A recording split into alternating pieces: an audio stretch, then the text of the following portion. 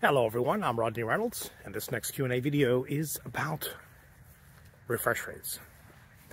Hertz. Can you see beyond 60 hertz? A lot of very intelligent people who've conducted studies say no, the human eye cannot see beyond 60 hertz.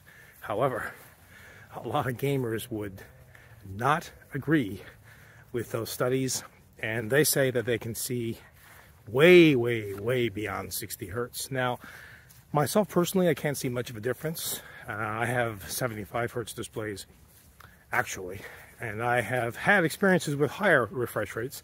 I find them a little smoother, but other than that, not a tremendous difference.